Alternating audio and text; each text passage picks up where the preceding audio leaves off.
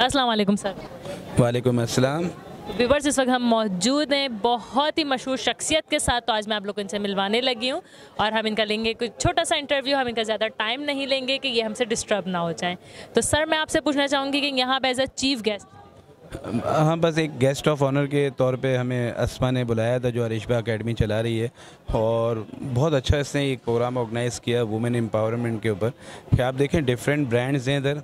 और डिफरेंट जो है ना पार्लर्स जो चल रहे हैं ब्यूटी पार्लर्स उनकी जो ऑनर्स हैं, वो सब इधर आई, उन्होंने ब्राइडल शो किया, अपनी अपनी ब्राइड्स को उन्होंने तैयार किया, उसमें उनको पोजीशंस मिली।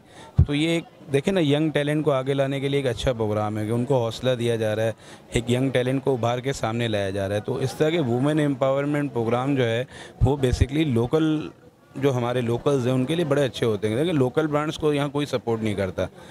हम अगर इम्पोर्टेड ब्रांड की बात करेंगे ना तो आप देखें कि हर कोई इसको कवर करना शुरू हो जाता है। पर लोकल ब्रांड को यहाँ कोई पूछता ही नहीं है। तो लोकल ब्रांड को और जो पार्लर्स हैं, जिनकी ऑनर्स जो चला रही हैं, उन सबको ऊपर लाने के लिए बहुत अच्छा प्लेटफॉर्म इन्होंने बनाया। और मैंने देखा इनका शो बहुत कामयाब गया है। और बड़ा अच्छा रहा। हमें, यानी पहला मेरा भी एक्सपीरियंस इस तरह के शो का, लेकिन बड़ा अच्छा एक्सपीरियंस रहा। सर, आपको कैसा लगा यहाँ आकर और इस तरह के शोज़ में आप जाते रहते हैं?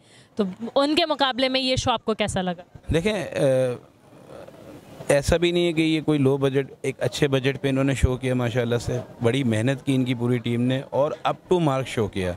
ये पूरा शो जो था, वो अप टू मार्क था। अगर हम देखें, तमाम इंतज़ाम अप टू मार्क थे। इनका जो वर्क था, वो डिसिप्लिन भी हो रहा था। और जितने भी यहाँ पे जो पार्लर्स की ऑनर्स आई हुई हैं ब्रांड्स आए हुए हैं। तो वो सबको मैं देख रहा हूँ उन सब के चेहरों पे खुशी है।